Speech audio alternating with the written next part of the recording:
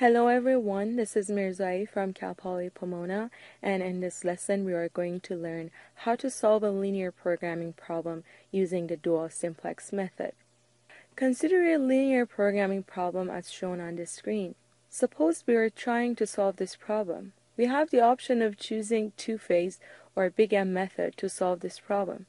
Another alternative to solve this problem would be using the dual simplex method. In dual simplex method, we are trying to solve the dual problem instead of the initial problem because according to a theorem, we know that the value of a primal problem and its dual programming is going to be the same at the optimal point. And that's why instead of solving a primal problem, we have the option of solving its dual problem because both at the end will converge to the same optimal solution. So let's look at the dual programming of this primal problem. Before writing a dual programming of this initial problem, we need to normalize this problem. We know that for a minimization problem, the normal condition is when all the constraints have greater than or equal sign. Therefore, to change this minimization problem to a normal form, I have to multiply the first three constraints by negative 1. If I multiply the first three constraints by negative 1 and keep the last constraint as it is, I'm able to write the normalized form of this minimization problem. Now that I have a normal minimization problem, I'm able to write the dual programming of this problem, which is a normal maximization problem. I can start solving this problem using the simplex method because all the constraints are in form of less than or equal conditions. So I'm able to solve this problem by introducing only slack variables. As you see, if I was going to solve the initial problem, I needed to define one artificial variable for the last constraint. Whereas by defining the dual of the initial problem, the need for defining the artificial variables are eliminated. Now to solve the dual of this initial problem, I can set up the simplex table and put all the coefficients inside the table as well as the right hand side and the coefficient of objective function and start solving it. As you see, the problem has been simplified. Instead of defining artificial variables uh, for the initial problem, we eliminated that need and we're just solving this problem with only slack variables. And we don't need to add those uh, artificial variables and those big M in the objective function. Now we can introduce the concept of dual simplex method. In dual simplex, we're trying to solve the dual of an initial problem without actually going through these steps here, without normalizing a problem, without writing the dual of this problem, and without standardizing it. So what we are trying to do is to eliminate these steps and find a solution to the problem by setting up a simplex table for the initial problem. Let's see how we can do this. But before we start solving this problem using the dual simplex method, it is important to know that we cannot use the dual simplex method for all linear programming problems. Our problem have to meet two conditions to be able to be solved with dual simplex method. The first condition is the objective function must satisfy the optimality condition. It means that if it's a minimization problem, all its coefficient must be positive and if it's a, a maximization problem, all its coefficients must be negative.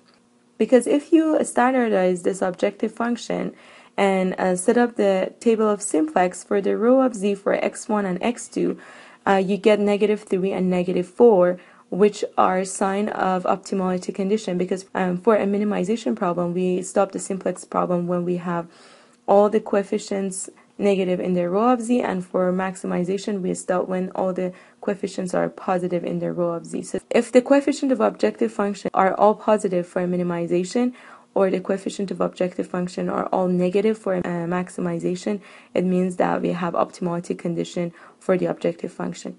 The second uh, condition is uh, we have to have at least one constraint with greater than or equal or equal sign. So these are the two important criteria that we have to have for a problem before we start solving it using the dual simplex method.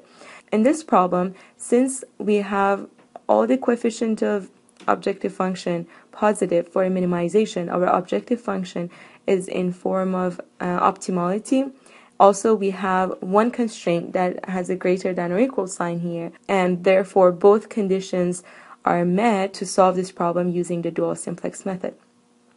The first thing that we need to uh, do before starting the dual simplex method is to standardize this problem. The first three constraints of this problem can be easily standardized by adding slack variables because all the constraints are in form of less than or equal and by adding slack variables we can standardize this problem. However, for the last constraint, we first multiply it by a negative 1 to change the sign of the constraint to less than or equal. And then when we have this um, condition, we can easily standardize this problem by adding just a slack variable because um, according to the definition and the concept of slack variables that we introduced earlier, we can add one decision variable to the left hand side of this problem to make it equal to the right hand side. So the problem is standardized and we can store the dual simplex method. So if I set up the initial ta table of the simplex, you see that all the coefficients in the row of z are negative, which means for a minimization problem, we are in the optimality condition. But in the right hand side of this problem, you'll have a value that is negative. So the problem is infeasible.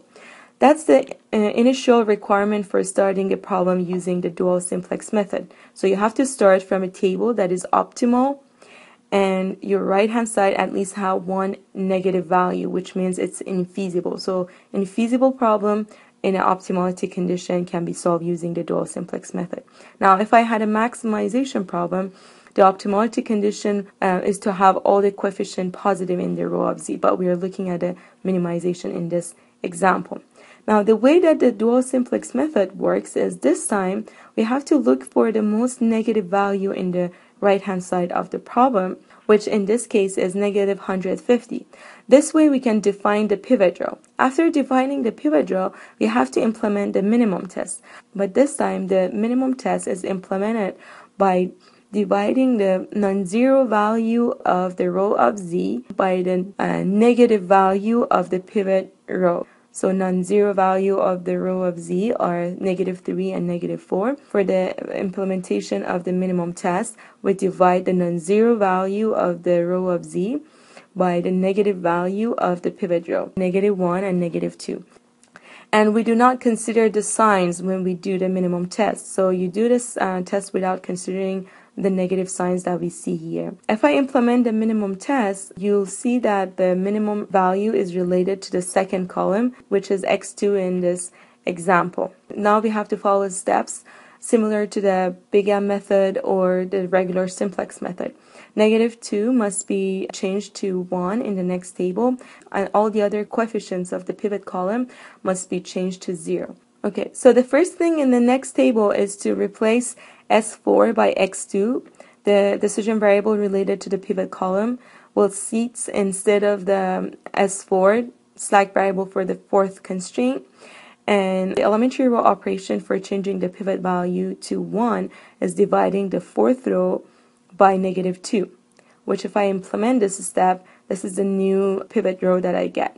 For changing the element of the third row in the pivot column, to zero, we need to define an elementary row operation. What I did, I used the old pivot row to define this elementary row operation. I'm multiplying this row by two and then adding it with this row.